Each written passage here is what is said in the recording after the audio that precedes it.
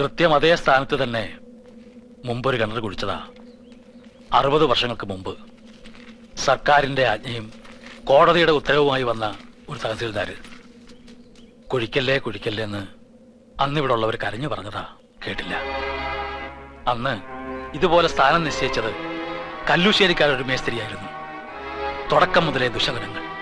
നാൽപ്പത്തഞ്ച് കോൽ കുഴിച്ചു എന്നപ്പോൾ മണ്ണിടിഞ്ഞു. ഭൂമി ഇളകി. പിന്നെ അതൊരു ഭൂമികുലുക്കമായി മാറി. കിണർ കുഴിക്കാൻ സഹായിച്ച സ്വപ്നഭൂമിയിലെ പതിനേഴ് ചെറുപ്പക്കാരും മണ്ണിടിഞ്ഞു വീണു മരിച്ചു. ഇടിഞ്ഞു വീണ മണ്ണിനടിയിൽ ആ സ്ഥാനത്ത് ഇപ്പോഴും കിടപ്പുണ്ട് കല്ലൂശ്ശേരിക്കാരൻ മേസ്ത്രി. ആ കിണറ് മണ്ണിട്ട് മൂടിയതിനു ശേഷമാണ് ഭൂകമ്പം നിന്നത്. രോഗം ശമിച്ചത് എല്ലാം ശാന്തമായത്. അന്ന് മരിച്ചവരെ അവിടെയാണ് അടക്കം ചെയ്തിരിക്കുന്നത്. അവരുടെ നെഞ്ചത്ത് കൂടി തന്നെ ഇനിയൊരു കിണർ കുടിക്കണോ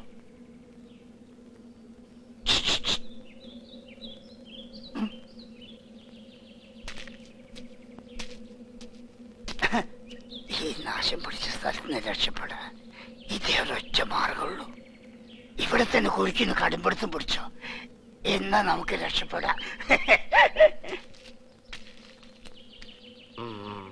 വാസോനം വേറെ പണി നോക്കണം. ഹാ, പതിനേഴല്ല പതിനേഴായിരം പേരോടെ ചത്ത് കിടപ്പുണ്ടെങ്കിലും ഞാൻ അവിടെ കുഴിക്കൂ.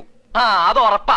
ഹ, മറ്റെവിടെയെങ്കിലും കിണറിന് സ്ഥാനം നോക്കണെങ്കിലേ മറ്റേതെങ്കിലും മേസ്ത്രിയെ കൊണ്ടുവന്നോ. ഞാനില്ല. ആ പിള്ളേര് കളിയാണെന്ന് വിചാരിച്ചേ.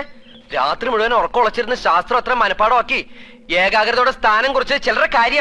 കാര്യ? ഈ സ്ഥാനം മാറ്റി ഞാൻ വേറെ സ്ഥലത്ത് മണ്ണ് മാന്തിയ. സോറി ഞാൻ വേറെ സ്ഥലത്ത് മണ്ണ് മന്തിയാലേ പൂർവികളുടെ ആത്മാക്കൾ പോലും എന്നോട് പൊറക്കില്ല. വലിച്ച വലിച്ച വേഗം വലിച്ച. വേഗം പറയണം. ഈ സ്ഥാനത്ത് കുഴിക്കാനാണെങ്കിൽ മരണത്തെ പോലും ഭയപ്പെടാതെ ഞാൻ റെഡി അല്ലെ വേറെ ആളെ നോക്കിക്കോട്ടാ ഒരു കാരണവശാലും യുവമാരെ ഇവിടുന്ന് വിടരുത്. സ്ട്രോങ് ആയിട്ട് നിന്നോ ഈ കാര്യം പറഞ്ഞിട്ട് അഡ്വൻസ് തിരിച്ചു കൊടുക്കാതിരിക്കുക. വേഗം തീരുമാനം പറ. ഞാനിവിടെ കുഴിക്കണോ അതോ ഇവിടുന്ന് പോണോന്ന്? സുന്ദരകില്ലാടി ഇവിടുന്ന് തിരികെ പോയാൽ പിന്നെ ഒരിക്കലും നമുക്കിവിടെ ഒരു കിണറുണ്ടാവില്ല. അതുകൊണ്ട് ശകുനം നോക്കി അതനുസരിച്ചുള്ള തീരുമാനമെടുക്കാം. വെള്ളച്ചാമി ശകുനം എന്താണെന്ന് നോക്ക്.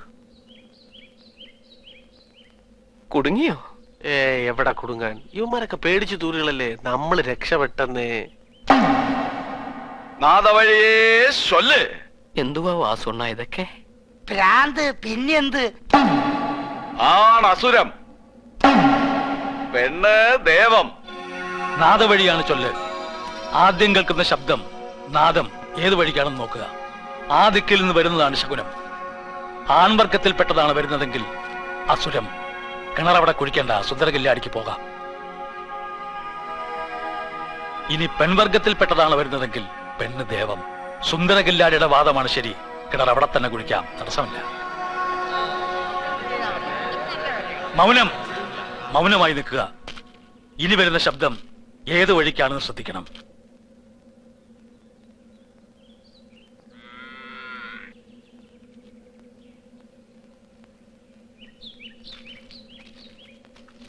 ആ ദിക്ക് ആ വഴി വരുന്നതാണ് നമ്മുടെ ശകുനം. ആ വഴിന്ന് ആൺവർഗത്തിൽപ്പെട്ട ഒരു മുട്ടനാടെങ്കിലും വന്നാൽ നമ്മൾ രക്ഷപ്പെട്ടു.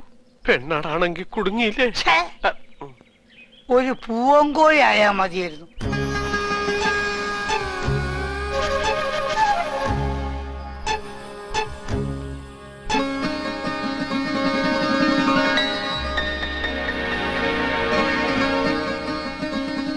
ഉറപ്പിച്ച സ്ഥാനത്ത് തന്നെ കിണർ കുത്താനാ നിമിത്തം പറയുന്നത്.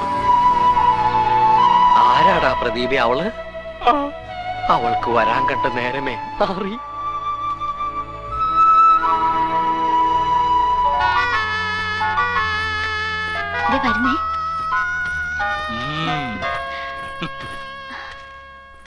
ഇത് ദേവയാനി.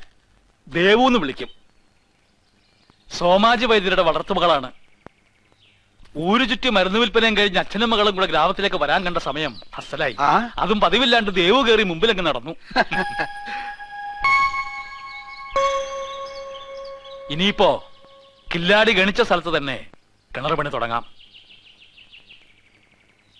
നല്ല നിമിത്തവുമായി ഞാൻ വന്നു. എന്നിട്ടും കിണറ് കുത്തിക്ക് എന്താ ഒരു പേടി?